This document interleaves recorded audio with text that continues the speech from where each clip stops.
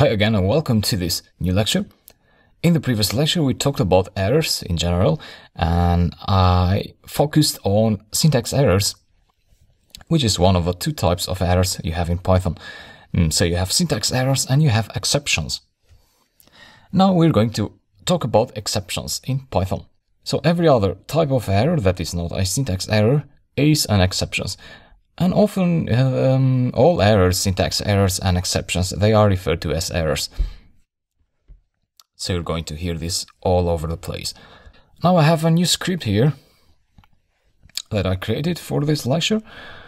Mm, try to guess what I'm going to get as output when I, when I execute this script.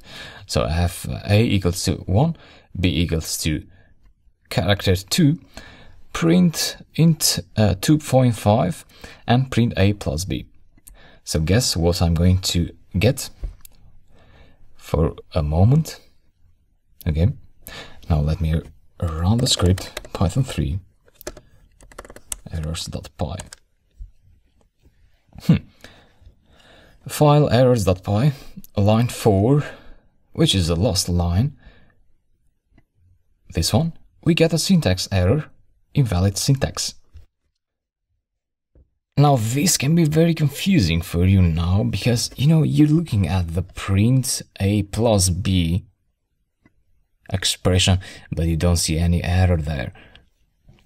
So for a beginner this can be quite frustrating but try to look back on the left of the arrow here.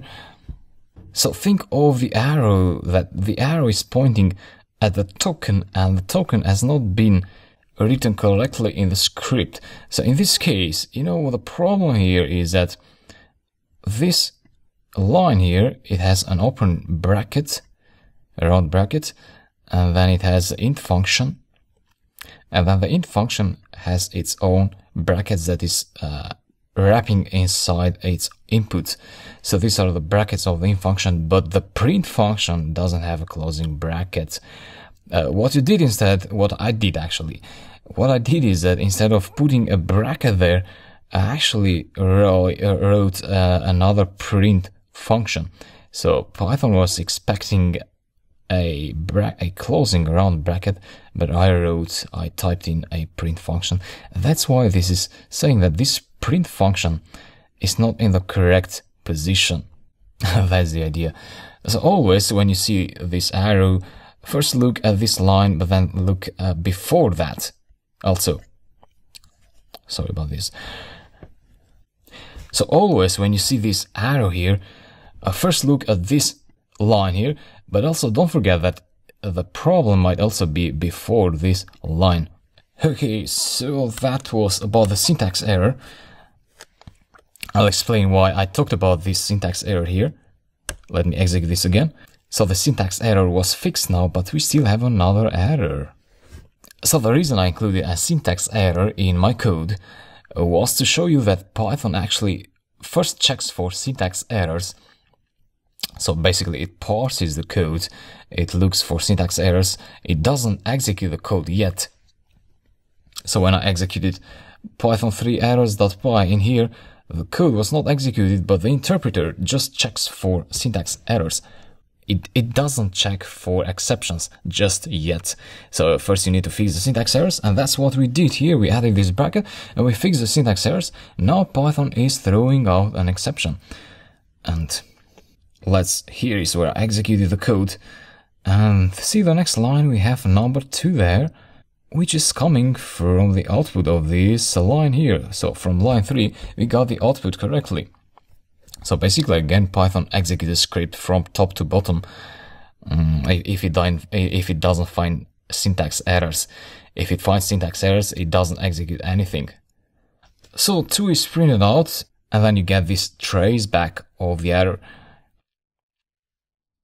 which starts there and ends in here. That's the block of the error. Sometimes the errors may have more than one uh, type uh, type of error. So in this case, we have only one type of error, which is a type error. But you may have uh, multiple blocks here. Uh, however, the most important error that you must focus on is the last line of the error. so the last block of, of the error. In this case, we have only one block, so we are focused on in that. And line 4, which is this one in here. This is the line. Again, the line is printing out, just like in the case of syntax error. And here you have the type of the error here, which is a type error. Uh, so what's a type error? A type error means that there is something wrong with uh, one of your object types in your script. And you have the description here, unsupported operand type for plus. So this is trying to say that the plus operator has an unsupported type, so the plus operator, in other words, doesn't support one of the types that you have given to it. So it either the type of, of uh, variable A or the type of variable B. So it says int and string. So it doesn't specifically say that whether int or string is the object, but it says that you cannot use a plus operator with an integer and a string. And that's, that's logically wrong because you cannot add a number to some text. That's what Python doesn't understand and it, uh, it throws a type error. So exceptions are like logical errors and you, you need to use your logic now to fix the error. And you use your logic by carefully inspecting the error and that's what we did. Uh, so what you, uh, we want to do, we want to fix this. Now it's up to me whether whether I meant to concatenate these two objects or uh, do a mathematical addition uh, operation. So uh, let's say if, if I, I was intending to do an addition between these two numbers, then I would have to convert b to a float or, in, or an integer. Uh, save that, execute. And yeah, in this case, you don't get any error. You get 2 printed out from the second, uh, from the third line and 3.0 from the last line that we have just fixed. However, if my intention was to actually uh, print out the concatenation between these two strings, instead of uh, converting B to a float, I would have to convert A to a string. In this case, I would get the text 1 and 2. 1 and 2. So that would be a string object, not a number. Even though here it shows as a number, it's just how the terminal prints it out. So again, these uh, are errors that occur in runtime, so when the script executes.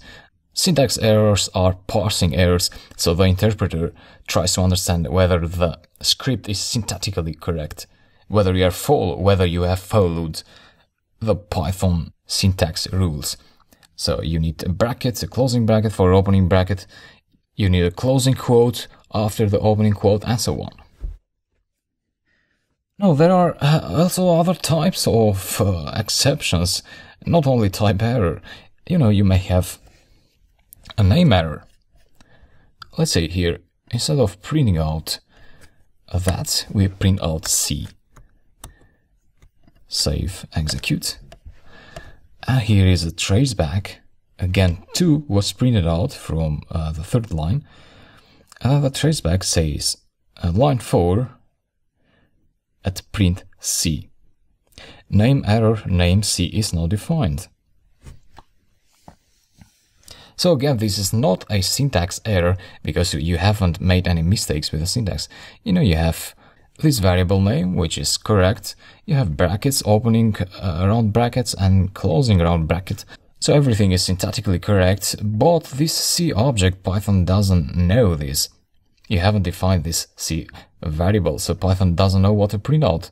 You know, Python is able to print out A because it, it knows that uh, A refers to the one, uh, to integer one, and so it prints out integer one, but C doesn't have anything, so you get this name error and whenever you get a name error, you know that this name here has not been defined by you. So to fix this, you may want to define C like that and execute and you don't get any error.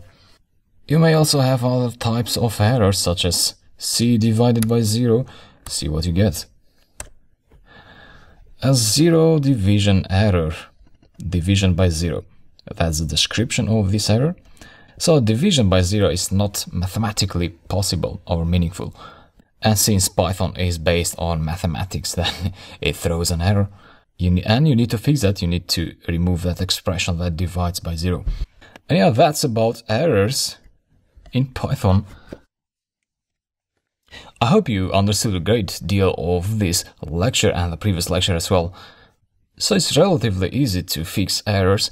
However, sometimes, uh, however, sometimes there are errors that you uh, might have difficulties understanding and fixing them.